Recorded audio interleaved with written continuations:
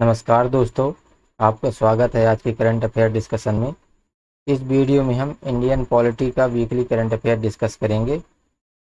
ये है हमारा daily current affair discussion classes का शेड्यूल और ये हमारा जीएस की लाइव क्लासेस का शेड्यूल जो कि शाम को तीन बजे से पाँच बजे तक स्टेट पीसीएस की क्लासेस चलती हैं। शाम को छः से आठ के बीच में यूपीएससी की लाइव क्लासेस चलती हैं और बारह बजे से एक बजे के बीच में दोपहर में आपको करंट अफेयर के वीडियो उपलब्ध करवाए जाते हैं।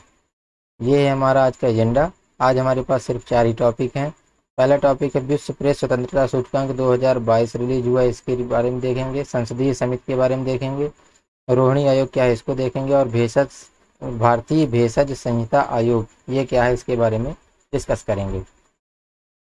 आइए हम अपने आज के टॉपिक में चलते हैं।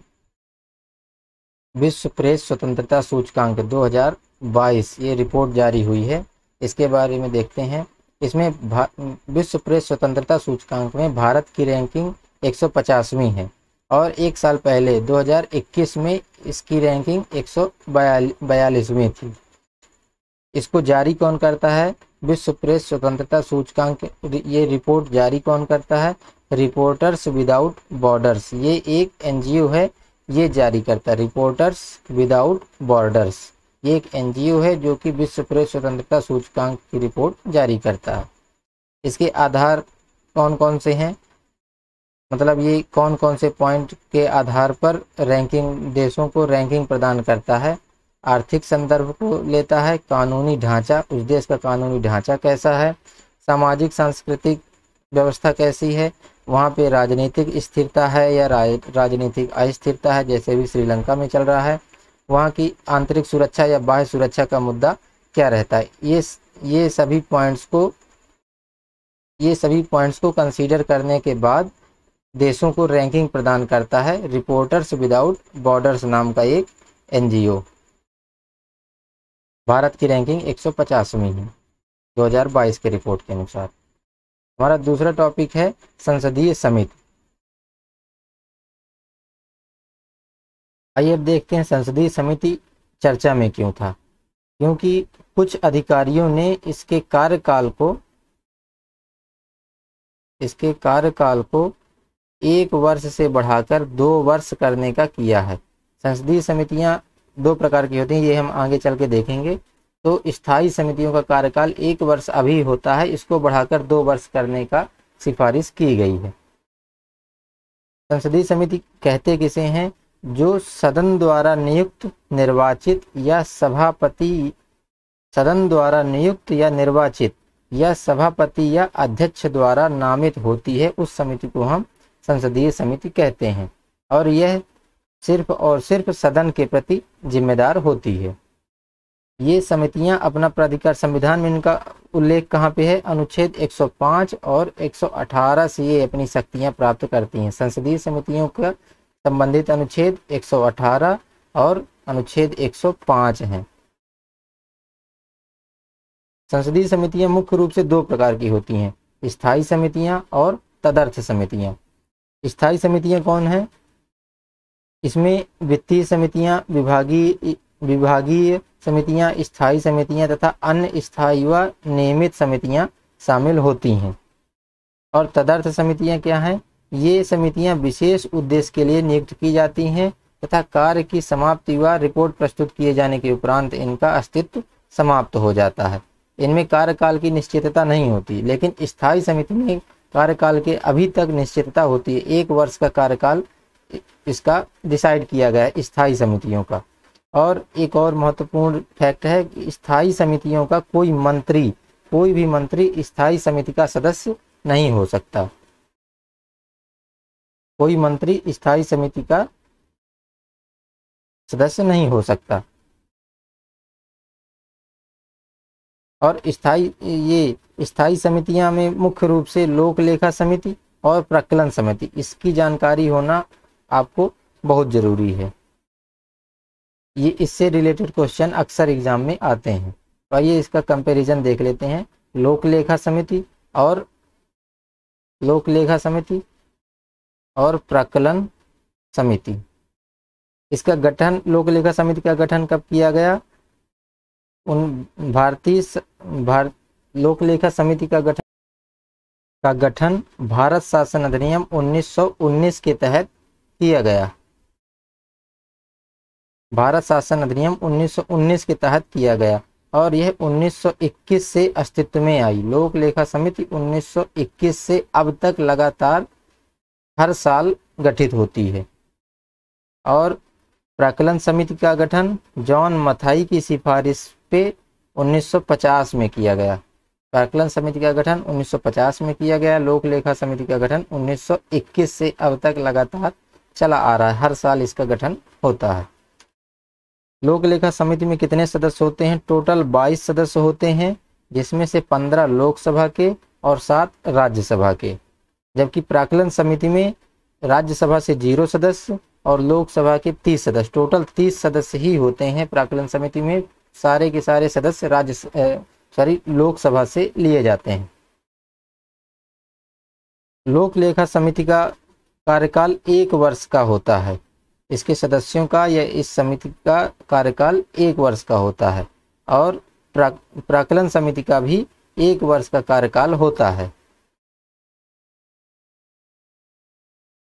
अध्यक्ष, इसके लोक लेखा समिति के अध्यक्ष विपक्ष से चुने जाते हैं। ऐसी परंपरा उन्नीस सौ सड़सठ से अभी तक लगातार चली आ रही है।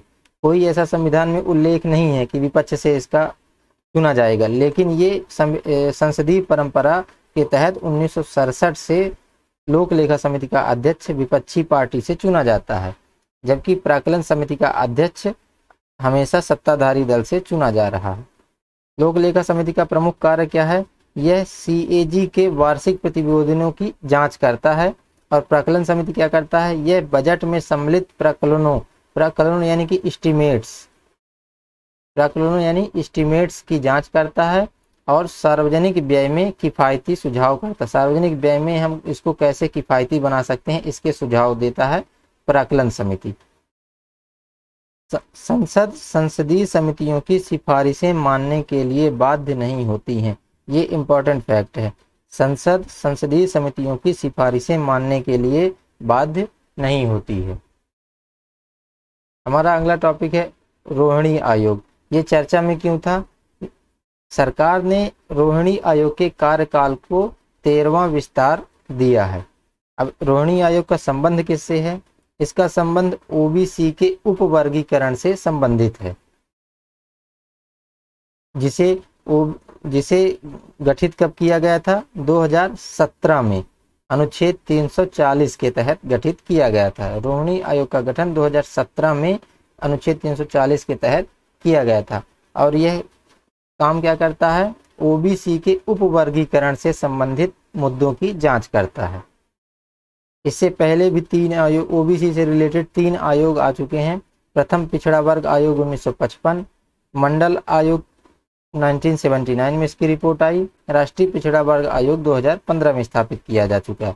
और इन तीनों आयोगों ने उपवर्गीकरण का प्रस्ताव दिया था। और जो अभी लेटेस्ट राष्ट्रीय पिछड़ा वर्ग आयोग 2015 है, इसने तीन ग्रुप बनाए हैं। ग्रुप ए ग्रुप बी और ग्रुप सी ग्रुप ए में अति पिछड़ा वर्ग को शामिल किया है, ग्रुप बी में अधिक पिछड़ा वर्ग और ग्रुप सी में पिछड़ा वर्ग को शामिल किया गया है।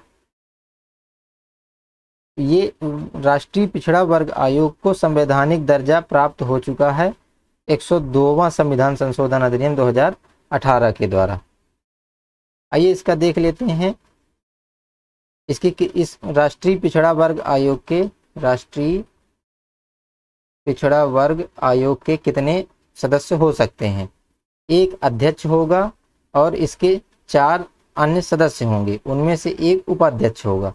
एक अध्यक्ष, एक उपाध्यक्ष, तीन अन्य सदस्य। इस तरह टोटल मिला के इसके पाँच सदस्य होते हैं।